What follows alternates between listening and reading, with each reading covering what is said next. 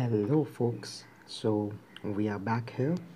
Uh, today I've got a die-cast model of Aston Martin Vantage GT8. That's from Majorette, and it's it's finished in beautiful green color with uh, orange tints over the windows. And uh, let us let us do the unboxing and talk further about it. Uh, as usual, I won't be using any kind of knife or any kind of cutters to take out it this car from the packet I'll just use my hands and let, let us see and let us try that how is it being done. Uh, okay all right here it goes. Actually I don't want to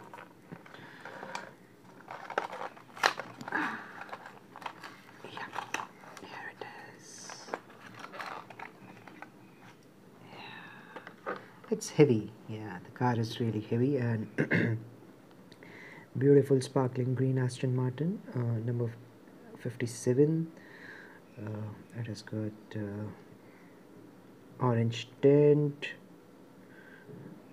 orange wrist strip decal around the chrome line orange chrome line around the front grille.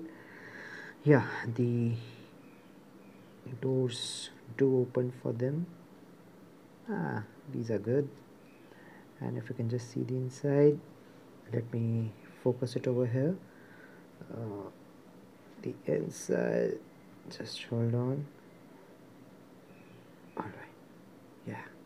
So yes it has got very fine interiors.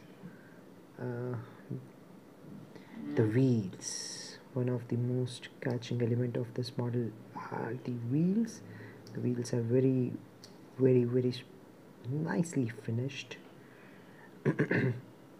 And yes that's the backside. It has got a roof uh, I'm sorry it has got a boot spoiler uh, yeah, obviously this is a licensed product hence this code BK031022 and it's manufactured in Thailand with a scale model of 1 to 60 and the model name here Aston Martin Vantage GT8 with reference ID 229D manufactured by Majorette.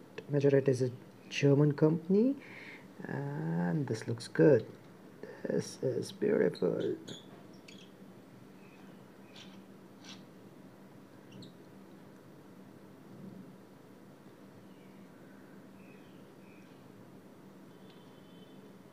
So who wants to be a Bond now?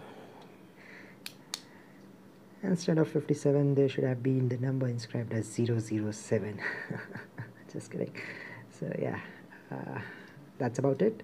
Uh, Aston Martin Vantage uh, stay tuned for more cars. Uh, thank you so much. Good day